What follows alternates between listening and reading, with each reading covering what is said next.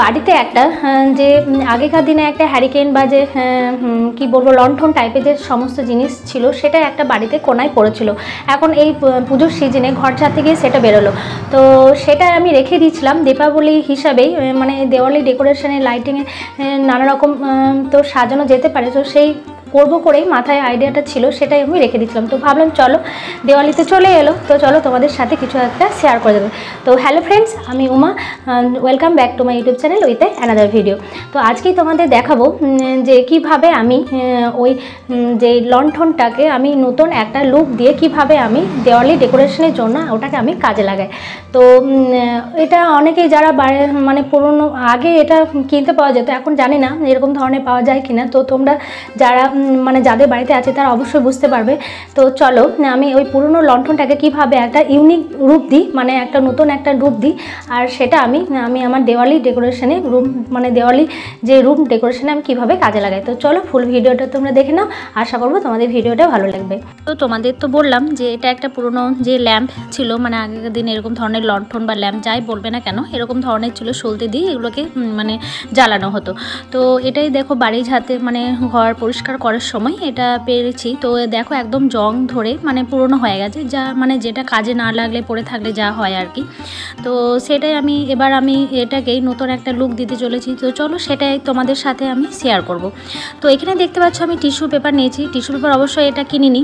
মানে কোনো রেস্টুরেন্টে খেতে গেছি। তো হ্যাঁ, দেখলে দেখতে পেলে ওয়াও মোমো বলে একটা লেখা ছিল। যাই হোক ওই তো সেই রেস্টুরেন্ট থেকে আমি নিয়ে এসেছিলাম এই টিস্যু পেপারগুলো এগুলো এরকমভাবে আমি কালেক্ট করে রাখি।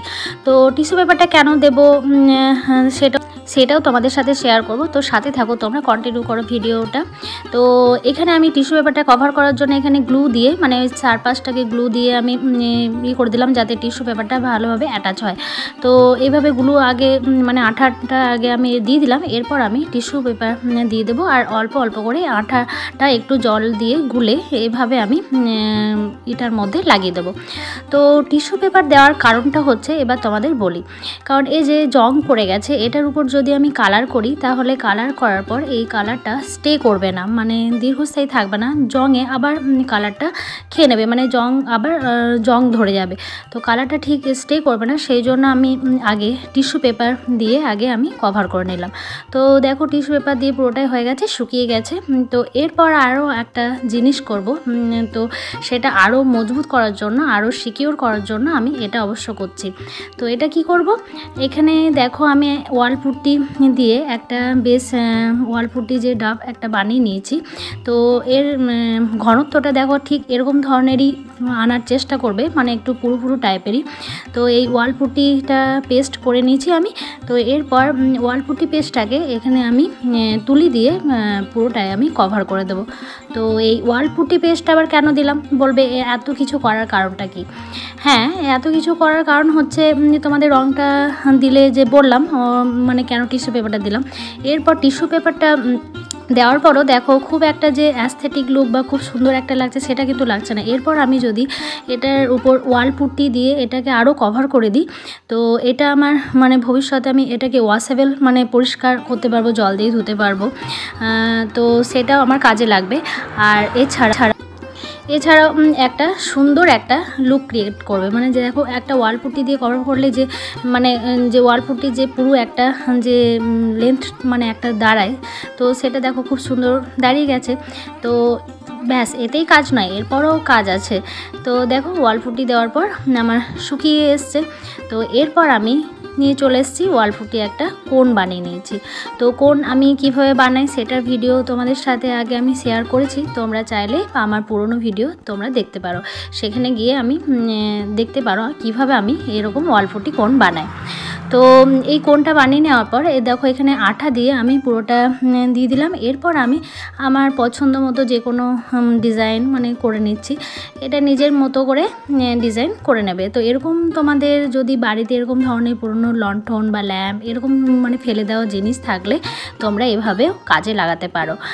তো এইভাবে কোন দিয়ে নানা রকমের প্যাটার্ন বানিয়ে নিয়েছি। আর কোনটা ঠিক এরকম ধরনেরই মানে মানে ঘনত্বটা আনার চেষ্টা করবে মানে খুব পাতলা হয়ে গেলেও মুশকিল। আমার একটু পাতলা পাতলা হয়ে গেছিল তো দেখো খুব পাতলা হয়ে গেলেও মুশকিল, আবার খুব টাইট হয়ে গেলেও আবার বেরোতে চাইবে না।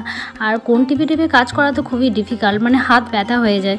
তো যাই হোক এভাবে কোন দিয়ে নানা রকম ডিজাইন করে নেবে তোমরা। তো এরকম আমি নানা রকম ডিজাইন নিজের মতো করে করে নিলাম। তো এরপর আমি এটাকে শুকাতে দেবো। তো দেখো একটা যে মানে লণ্ঠনটা পড়েছিল এটার উপরেও মানে কত কাজ যে চট করে যে হয়ে যাবে জিনিস সেটাও কিন্তু নয়। একটা পর একটা করে তারপর শুকাতে দেওয়া তারপর সেটা হ্যাঁ, মানে নতুন আবার একটা কিছু করা। তো এরকম প্রসেস করতে গেলে অবশ্যই একটু তো টাইম দরকার একটু ধৈর্যও দরকার।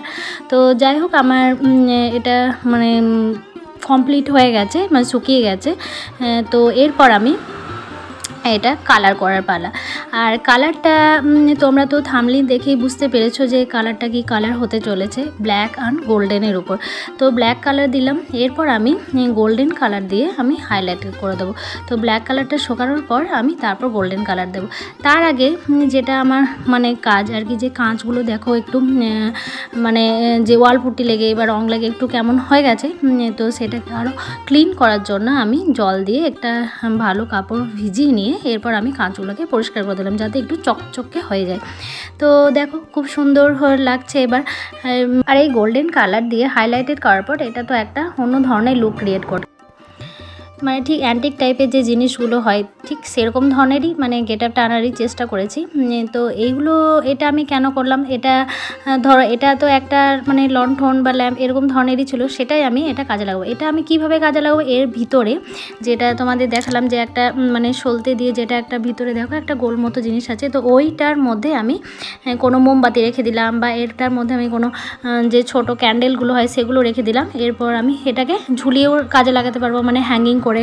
এছাড়াও আমি কোনো জায়গায় হয়তো টেবিলে মোমবাতি ভিতরে ভরে দিয়ে সেভাবে আমি ডেকোরেশন করতে পারব। মানে নিজের মতোভাবে আমি এটাকে ডেকোরেট করতে পারব। এছাড়াও আমি এরকমভাবেও টেবিলেও যদি এটাকে সাজিয়ে রাখি, সেটাও একটা খুব সুন্দর একটা লুক ক্রিয়েট করবে। তাই নয় কি? তো তোমাদের কেমন লাগল বন্ধুরা? তোমাদের যদি ভালো লেগে থাকে অবশ্যই জানাবে। তো দেখো আমার পুরো রেডি তো চলো, এটা তোমরা ফাইনাল লুকটা দেখে নাও। আর ভালো লাগলে অবশ্যই তোমরা জানাবে। তো আশা করছি তোমাদের ভিডিওটা ভালো লেগেছে। তোমরা যারা আমার চ্যানেলে নতুন হয়ে আছো, তারা অবশ্যই আমার চ্যানেলে সাবস্ক্রাইব করতে ভুলবে না। আর ভিডিও যদি অবশ্যই তোমাদের কিছু হেল্পফুল হয়ে থাকে ভালো লেগে থাকে লাইক করতে ভুলবে না। আর ভালো লেগে থাকলে কমেন্ট করবে। তোমাদের রিকোয়ারমেন্ট যদি কিছু থাকে, সে অনুযায়ী তোমাদের ভিডিও আনতে পারব। তো সেই জন্য তোমরা কমেন্টে জানাবে তোমরা কি ধরনের ভিডিও দেখতে চাও। তো চলো, আজকের মতো টাটা। নেক্সট আসব পরে কোনো ভিডিও